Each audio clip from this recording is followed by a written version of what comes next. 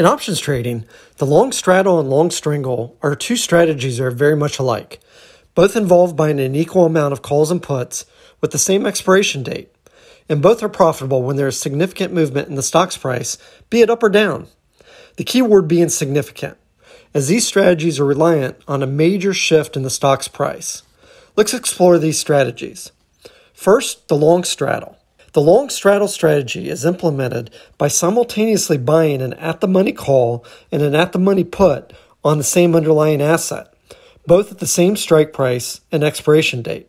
This places you in a position of profiting whether the stock makes a significant move either up or down. Since you're buying both a call and put at the same time, you're protecting yourself. This strategy is used when you're confident there's going to be significant movement, but you're unsure which direction the stock will go.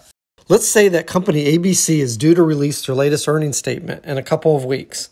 You have no idea if the results will be positive or not, but you do know that it will impact the stock's price significantly regardless. This is when the long straddle strategy comes into play and puts you in a win win situation. If the stock goes up, your long call option will increase in value. Alternatively, if the stock goes lower, your long put option profits. The key is that whichever direction it moves, it moves enough that the put or call value increases to more than the combined premium you paid for both options. The risk is that the stock price doesn't move much and the value of your option declines significantly before expiration. Now let's talk about the long strangle.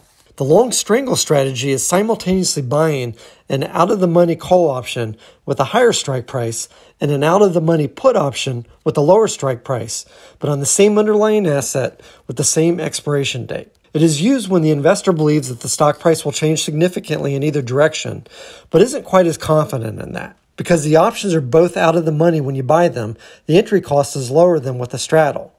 But the range the stock has to move in order for the position to be profitable is greater than with a straddle, too. Like a straddle, the main risks with the long strangle are if the stock price doesn't move past the strike prices. In this case, the options expire worthless and you lose the premiums paid for those two options. Let's say company ABC is due to release a new product that has been highly anticipated. In these circumstances, a long strangle is implemented since the probability of a huge increase in stock price is high and you will profit from the call option. But what if the product launch is a disappointment? In this case, the stock price might fall significantly instead.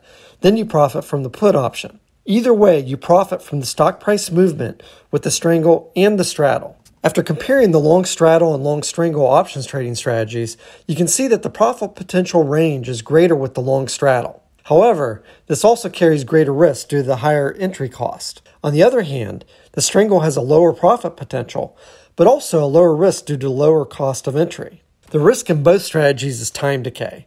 The stock price has to move significantly, and it has to do this before expiration.